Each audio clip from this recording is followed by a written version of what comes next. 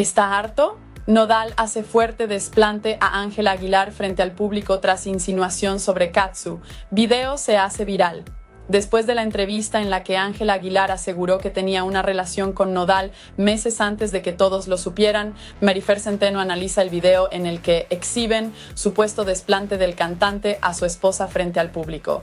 Video en el que Cristian Nodal supuestamente hace fuerte desplante a su esposa Ángela Aguilar frente al público se hace viral. Marifer Centeno analiza las imágenes y revela que es él hizo un gesto típico de hartazgo.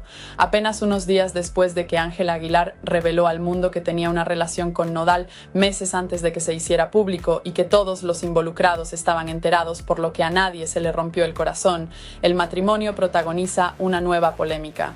Aunque hasta el momento ninguno de los involucrados ha respondido a los señalamientos de los internautas, la grafóloga Mary Fer Centeno analizó la escena y mencionó que este tipo de gestos es característico de exasperación. Ay, Dios mío, pone los ojos en blanco nodal. Este es un gesto característico de frustración, de irritación, pero sobre todo de exasperación. ¿Por qué estás exasperado? Cuando algo te cansa de manera inmediata, las señales oculares con de me quiero ir de aquí, entonces los ojos se van totalmente hacia arriba y parece que los ojos se ponen en blanco y son obviamente de forma automática. ¿Es tu cuerpo traicionándote o demostrando lo que realmente te gustaría decir? De eso se trata el lenguaje corporal, explicó en sus redes sociales. La especialista resaltó que, aunque este gesto podría indicar hartazgo a una situación o una persona, no significa que es el caso de Nodal y Ángela Aguilar, pues además es una conducta típica en las parejas.